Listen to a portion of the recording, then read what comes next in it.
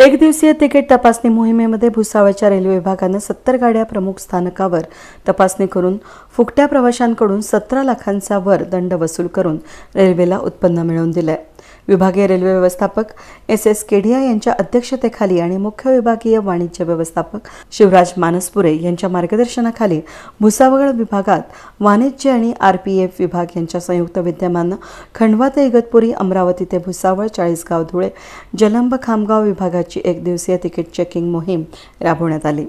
वाणिज्य निरीक्षक तिकीट तपासणीस आणि आर पी एफ जवान यांच्या संयुक्त पथकात तयार करून सत्तर गाड्यांची तपासणी करण्यात आली. नाशिक मनमाड जळगाव भुसावळ खंडवा अकोला बडनेरा या स्थानकांवरही तपासणी करण्यात आली.